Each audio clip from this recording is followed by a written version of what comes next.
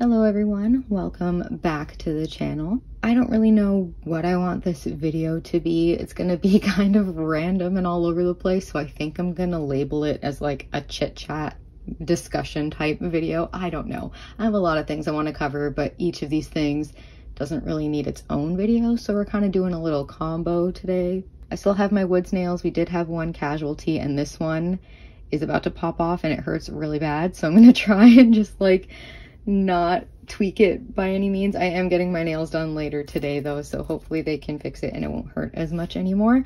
But as you can see here, I have a few photo card binders that you have probably, well, no, you for sure have not seen on this channel before.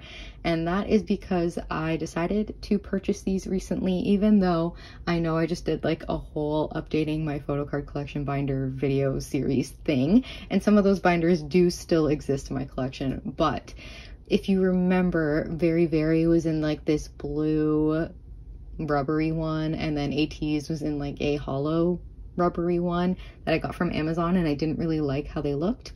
So decided to replace them and then while I was replacing them, I did a couple other updates and yeah, we now have four new binders that I didn't make videos on because I just didn't feel like I wanted to. First things first, let's talk about these binders. Uh, a friend of mine actually found them at a local Japanese gift store in Toronto. They are called Pieces of Moment. Um, I've actually seen Etsy ads online from them before. They come up in my Instagram ads all the time. So I feel like these are able to be purchased worldwide. Um, it just so happened that this Japanese gift store had a couple of these binders in stock. So yeah, I will try and link the at least the Etsy listing down below. However, I do believe they were more expensive than what I paid for them in store. So just to keep that in mind, I think that probably is just because of like shipping costs and things like that. So keep that in mind. Um, I'm sure if you Google pieces of moment photo card album, you'll be able to find them as well, but I will have everything linked below. So as you can see, I did get four different colors. We have a mint one, we have like a darker purpley pinkish one, we have a complete pink one and a complete purple one. Um, yeah, I love how these look, especially on a shelf because they are just so like compact. Um, they come with a little slip cover, which also helps with dust and things like that, which is always nice. So yeah, let's just begin with what's going on here. So I'm just going to show like what I've put into these binders because I am going to be doing a full photo card collection update sometime this month, hopefully. So I'm not going to like flip through everything, but I am just going to show you what's in what binder, like what groups are in which binders. While we're doing this, there's a couple other things I want to talk about, such as downsizing, the anxiety that comes with that, the comments that come with that, um, and other things, how my collections are changing, and things like that. So we will have a little bit of a discussion time while opening these, but this was the first one that I bought. I bought one the first time I went just to see if I actually like them. I didn't want to buy all four and then like hate them. Um, in case you're wondering about the price in Canadian dollars from the store that I bought them at, they were $21.99 plus tax. So it's actually pretty cheap considering I believe the price is much more expensive on Etsy. And I think it's just because the store probably bought them as like a wholesale, was able to sell them cheaper. I don't really understand, but they were a lot cheaper at the store. So once you take the slip cover off, this is what it looks like. Kind of looks like a photo album, like from back in the day. But yeah, so as you can see on the front, actually, it says that there is 160 pockets. I don't know if that means back and front, as you'll see um, some of these have photo actually I think I may have double sleeved all of them. Not really certain. I'm trying to cut back on the amount of photo cards that I collect. I know I talk about this quite often but um, yeah I find that binders like this really do help me narrow collections down and downsize and things like that. So yeah. So in this binder we have my VERIVERY collection. So as mentioned i did not like the binder that i got from amazon for them. There's just something about that blue that i just didn't like and i didn't like how like big it was in comparison to the other smaller ones that i got later on in that series. I will link the playlist for that series up above. But yeah so this is just my entire VERIVERY collection. Um, and the cool thing about these actually is that as you can see they're kind of divided into four sections.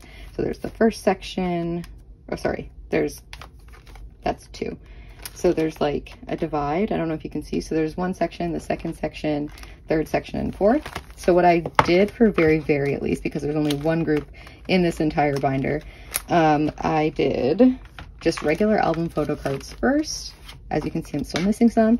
Here is an empty slot, and that's just going to be for growth whenever they have more albums. And then here we had other album inclusions that fit into nine pocket uh, sizing. And then, yeah, that's still that. And then we move into pre-order benefits. Now, as you can see, this pre-order benefit section is pretty full and moving forward, I will not be collecting pre-order benefits for VERIVERY in the way that I was. Um, if I pre-order an album and they come with them, then sure, fine, maybe I'll keep them. I ordered their newest album from K-Town For You though, and it didn't come with pre-order benefits, so that's fine. But that brings me to part of the, one of the discussions that I wanted to have, and that's about pre-order benefits. I think moving forward, pre-order benefits are going to be public enemy number one for me. I do not want to collect pre-order benefits anymore unless it is for WOODZ or unless I just happen to get them when I pre-order an album. And that is the only time. I am not collecting pre-order benefits at all for anyone anymore. It's just too much. There's just too many and I collect too many groups to also worry about pre-order benefits on top of regular album photo cards.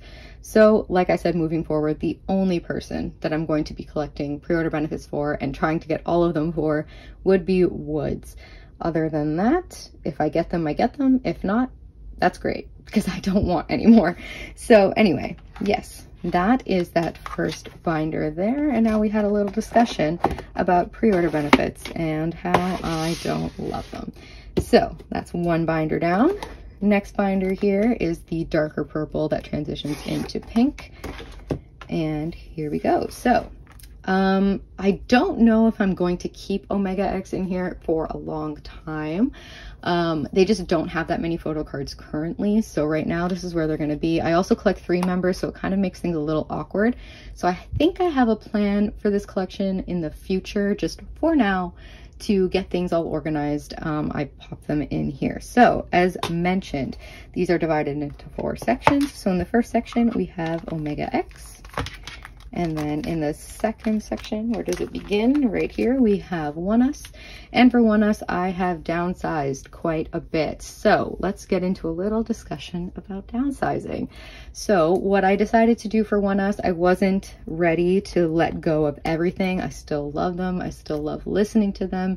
Um, but as you know, I did recently decide to only purchase one version per release of an album for them and therefore I only want one photo card per release for them. Some albums might come with two photo cards and I'll decide if I want to keep both or not. Um, but for the most part, I just want one photo card per album. The only one that I kept two for currently was the first album just because that holds a special place in my heart. I bought it when I was in New York and I don't know, I just have like a memory with that album. It was when I decided to start standing them. I was in New York, which is so random.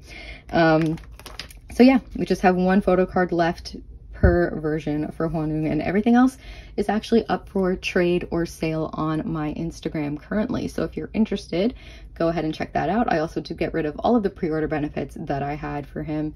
So those are up for sale or trade as well because I, for, for ONEUS at least, I just don't want pre-order benefits. I don't want anything extra. Clearly, if I'm cutting down to one photo card per album, I don't want pre-order benefits. But now that we're talking about downsizing, I'm going to talk about the anxiety that comes with it. For me personally, this might not, you know, be a thing for all K-pop YouTubers, but for me, anytime I want to downsize, I get very anxious about it. And the main reason for that is because I share my collection so publicly online. I feel like a lot of people, and I'm not blaming anyone for my anxiety. It's it's it's me.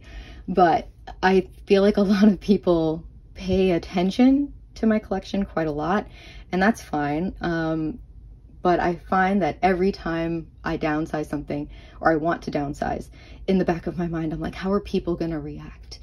Are people going to be upset? Are people going to start asking me questions as to why? Do I not stand them anymore? This and that. And while I, you know, it, I don't get like hundreds of comments like this, I do get comments all the time. Whenever I like I haven't even announced my downsizing plans recently because I just know like I didn't want to make a video about it basically is what I'm saying. And even so when I posted some items on Instagram without saying anything about downsizing I did get quite a few comments um, just being like, oh, you're getting rid of so and so. Oh, you don't listen to so and so anymore. Are you getting rid of this person? Why? Blah, blah, blah. And to be honest with you, I just have been ignoring those messages because it is my collection and I will downsize what I please. But at the same time, the way I have to psych myself up sometimes to post items because I know I'm going to get comments is kind of sad. it's very anxiety inducing for me. So that's why I don't really announce when I'm downsizing anymore. I try to keep it as like low key as possible. But I just want to, to let you know that that is what I deal with every single time I decide I want to cut back a little bit. And you know, like I'm probably have reasons for downsizing and it's not always everybody's and I mean this in the nicest way, nicest way possible. It's not always everyone's business, okay? There might be a reason that I need more funds, or maybe I'm trying to um, afford something else, or maybe I just don't want to continue spending this much money on K-pop in the future. And in order to get that into my brain mentally, that means get rid of some stuff now so that you don't feel like you need to buy stuff from this group in the future. I've always said that collecting does not mean standing and vice versa. One does not come with the other. I can listen to a group, I can love their music and not collect them and still consider that standing the group, in my opinion. So I'm just trying to get that mentality in my brain as much as possible by, you know, downsizing and not committing to purchasing so many things all the time. So yeah, that's my comment on downsizing and the anxiety that comes with it and just what I go through every time I decide I want to cut back. So anyway, let's continue. In the third section of this binder, we have ONEWE, whose new album I did pre-order. They are one of the groups that I actually don't want to downsize yet. I absolutely love ONEWE so much, and they don't really do a lot of photo cards. So as of right now, I'm comfortable collecting all of them. Um, and then towards the end of the section, I just have some other random stuff. And then at the very back in the fourth section, we have Purple Kiss. So yeah, that's what I have in this binder. And now I can show you what we have in the next one. And my AC just kicked in. I don't know if you can hear it. It's kind of far away from where I'm filming, but just in case you did. Anyways, next up, we have this binder here. This is the purple one. And here we go. So again, I divided it by the four sections. In the first section, we have Ace. And then in the second section, we have Only One Of. And then in the third section, we have Kingdom. And in the fourth section, we have E'LAST, which is a new, well, not really a new development. It is a, uh, a comeback for me. I used to collect E'LAST, um, and then I just kind of stopped. But I have been in love with their music once again. Their new comeback was amazing and I've decided to collect them. Maybe not thoroughly, I don't know, going forward. As of right now, again, the amount of photo cards, especially for Wonjun, since he wasn't a part of the second album, the amount of photo cards for him is very small, so I don't feel like I shouldn't do it. So yeah, I'm going to continue collecting Wonjun, and then again, if they release albums in the future and there's like, I don't know, seven cards per member, I might just do one per. Um, I'm also only going to collect one album per release, so yeah, I'm I'm happy with this. And I love the way these um, photo cards look together with all these different groups. And in the case of all of these groups, I haven't downsized anything. Everything is still the same. And I will continue to collect in the way that I've been collecting up until now. So that is the little purple binder. And then last but not least, we have the pink one. So who is in here? Let's see, let's see you open it right away and we have ATEEZ. So yeah, as I mentioned, their little jelly binder that I got before the hollow one, I don't think Um, sorry, not that I don't think, I definitely did not like it. so I have replaced it and don't worry, those old binders did not get thrown out. They did not go to waste. I gave them to my roommate. He actually really liked both of them. So I said, here you go. so anyways, for ATEEZ, here we go. We have Yeosang. So this binder actually only has two groups in it. The first being ATEEZ. I did not downsize at all except for pre-order pre benefits. I definitely got rid of a lot. There was um, maybe two eras in which I just like went crazy buying Yeosang pre-order benefits and I am now realizing that I do not need them all, um, especially if they look hella similar. So I cut back a lot. Again, I'm going to do a full photo card collection video at some point in June.